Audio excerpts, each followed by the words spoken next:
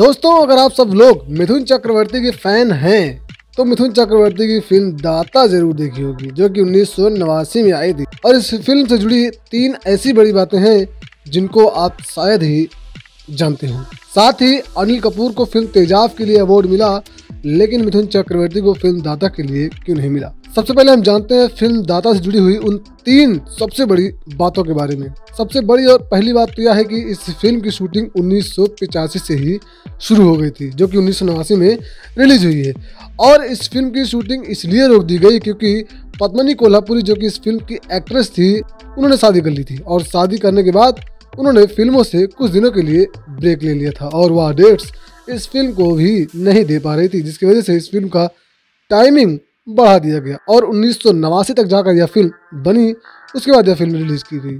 Number दो इस film का एक गाना था, रोना धोना छोड़, जो कि आप सबने सुना होगा और काफ़ी बेहतरीन गाना था, लेकिन आप सब में से बहुत कम लोगों को पता होगा कि उस समय में इस गाने को बैन कर दिया गया था। और बैन करने का रीज़न यही था, क्योंकि शराब दारू वाला गाना था, इस वजह से इस फ़िल्म के गाने को बैन कर दिया गया था उस समय, लेकिन फिर भी इस फ़िल्म में चल पड़ा गाना।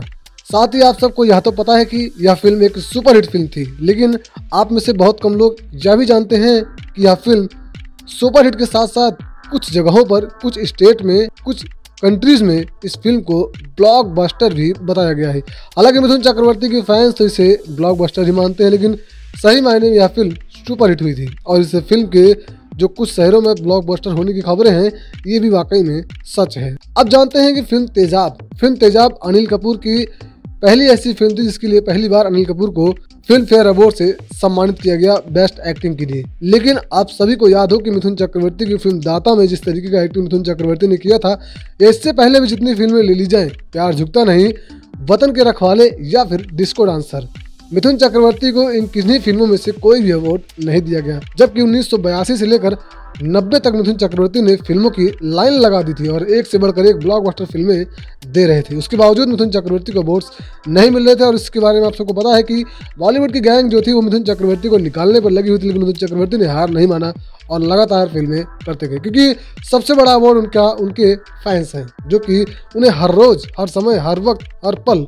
प्यार देते रहते हैं। और आज भी मिथुन चक्रवर्ती का जलवा फैंस के प्रति कायम है। वही अगर फ़िल्म तेजाब की बात करूँ, तेजाब के लिए अनिल कपूर को पहली बार फ़िल्म फेयर अवार्ड से सम्मानित किया गया था। साथ ही सपोर्टिंग एक्टिंग के लिए चंकी पांडे को भी सम्मानित किया जा चुका है।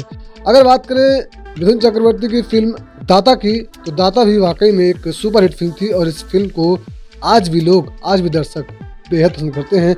अगर जोड़ा जाए तेजाब से तो तेजाब से ज़्यादा तो मिथुन चक्रवर्ती की फ़िल्म दाता को लोग ज़्यादा ही पसंद करेंगे। बहरहाल, फ़िल्म दाता पर और फ़िल्म तेजाब पर आपकी क्या प्रतिक्रिया है कमेंट सेक्शन में ज़रूर दीजिएगा।